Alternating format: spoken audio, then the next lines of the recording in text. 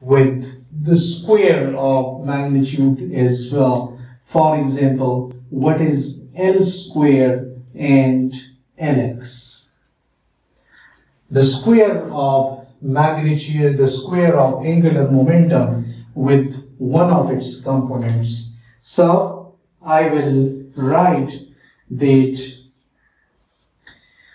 L square from here will be equal to Lx square plus Ly square and Lz square. So this is the component form here. So I can write here that this is Lx square plus Ly squared plus Lz squared and the commutation with Lx. So now we will have to calculate this one. So first take the commutation of Lx square with Lx and then plus this plus comes in the commutation of Ly square with Lx and then the commutation of Lz squared with Lx. Now, is from this terminology, we know that when the operators are means same operators with different like momentum operator, so x will commute with y and x will commute with x as well. So here I can write this one that I can write this is this is equal to Lx with means any operator commutes with any power of it. For example, if I have the n operator which is p here, n operator which is p here, momentum here, it will commute with square. It will always commute. Like momentum commutes with the kinetic energy. So this term will go to zero because one is Lx, the other is Lx squared. This term will go to zero and I go to the next two terms and they are Ly squared Lx plus Lz squared and Lx. Now I will have to solve this, I will have to expand it and I can write that if this thing is equal, I can write this is Ly Ly Lx. And similarly, plus I can write this as Lz Lz and Lx. Now here we will utilize a relation and that relation is that if we are having the operators in this form, that here I am having two operators and here one, then this will be, if I take A common here, then it will be A, B, C. And then I will have to take here the AC relation, the A and C will come while B will come here. This we can prove as well, but for the moment we will utilize it directly. And here our result will become, this is our A and this is B and this is C. So I can write that Ly, then this is equal to Ly Lx. And then plus I will write the A and C. So again Ly Lx and then Ly will come here. As our A, B are the same so it doesn't matter here and plus this one I can write LZ into LZ and LX and plus LZ will come here and Lx will come here and Lz will come here. So now I know from these relations that Ly Lx, Ly Lx, if I reverse the it will become minus I h bar. This one is minus I h bar Lz. Similarly Ly Lx here minus I h bar Lz and here LZ LX is IH bar LY and LZ LX again IH bar LY. So I can write finally that this is minus IH bar and LY first and then LZ. LY first and then LZ. Similarly here minus IH bar LZ and then LY plus this is IH bar then LZ and LY plus IH bar and this will be LY and LZ and now I can see that minus IH bar LY LZ is cancelling with this and minus IH bar LZ LY is cancelling with this and our whole result is equal to 0 and this gives me that L squared with Lx is coming out to be equal to 0. Similarly, all other relations will also be equal to 0 like L square with L y will be equal to 0 and L squared with LZ will be equal to 0 or I can write this in component form as well that when L square so this is Lx square plus Ly squared plus Lz squared and this with Lx will be equal to 0 due to the reason that Lx commutes with Lx square and that's the reason that this thing should be equal to 0. Similarly, if I write here Ly, now Ly commutes with Ly squared and if I write Lz, so Lz commutes with Lz squared and that's why this is true that square of the angular momentum commutes with its components.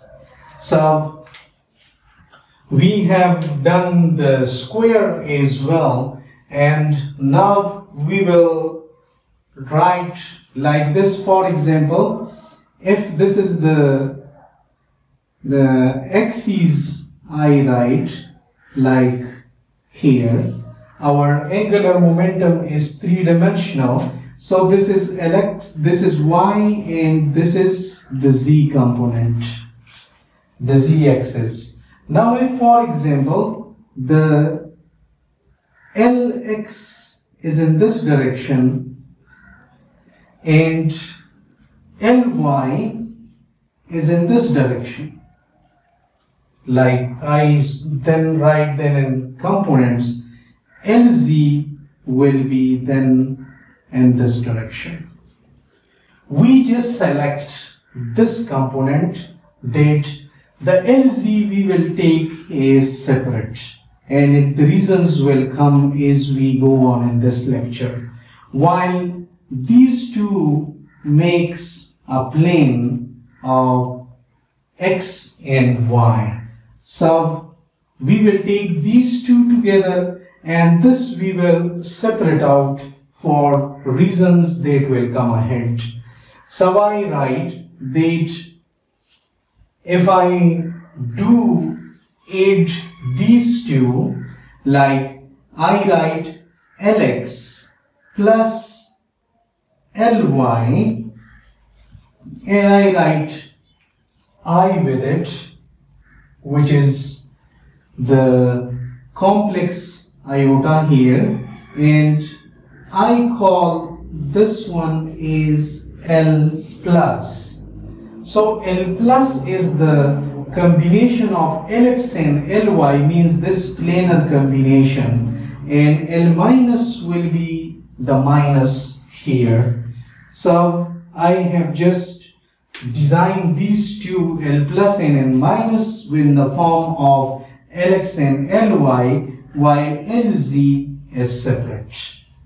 Lz is in the third dimension. So now we just want to prove that what will be the commutations of like I write that what will be the commutation of Lz with L plus minus? Because I know that Lx and Ly um, Lz and X I know but what will be this one with two of the components of angular momentum? And what will be the L square with L plus minus. What will be this? These two values we will have to find out that what will be these commutation relations. So the very first one that I start with is LZ and L plus minus. That what this commutation relation is equal to.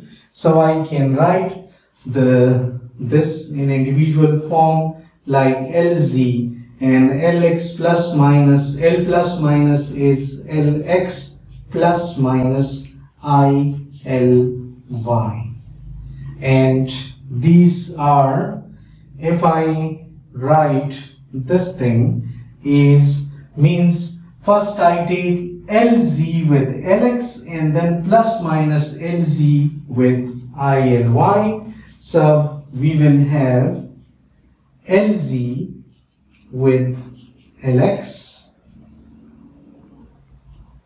Lz with Lx, then plus minus I and Lz with Ly, Lz with Ly.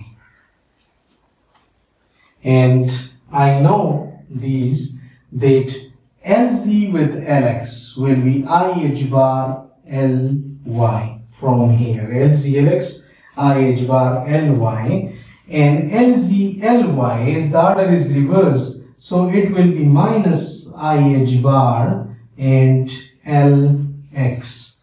So I will have to put the values and this thing is equal to IH bar and LY plus plus and minus. Now we will have to think of this value here. That so think of this. When minus will multiply with plus, it will make it minus and the lower will become plus. So plus minus it means it will change sign. But then we are having i square. And i square so keep this one is separate. And multiply i with minus i, it will become minus i square. Minus and i square is again minus, so minus minus will become plus. And this plus minus will remain as they are and this will be h bar lx. This is h bar lx no I with it. So I can write that if I take this is common plus minus h bar so take plus minus h bar lx and plus i h bar and ly. If I take the plus minus h bar is common, then means I take the plus minus h bar is common, then it will be Lx. It will be Lx. And this is Lx and now when it comes here, so for the plus h bar I have taken plus here but when I take minus is common then this plus will become minus so it means it will become plus and minus i l y. And this gives me that this is equal to plus minus h bar and L plus minus. So I can write that L Z with L plus minus with L plus minus will give plus minus H bar L plus minus. So this is one of the very important relation and similarly I can write that L square means the second that I want to prove here L square L plus minus L square and L plus minus this is very easy to prove this will be equal to L square and L plus minus is Lx plus minus I Ly and I know that L square with Lx is equal to 0 and L square with Ly means with all its components this is equal to 0. So this implies that L square with L plus minus will always be equal to 0. So these were the very important relations that we have proved and this reason will become clear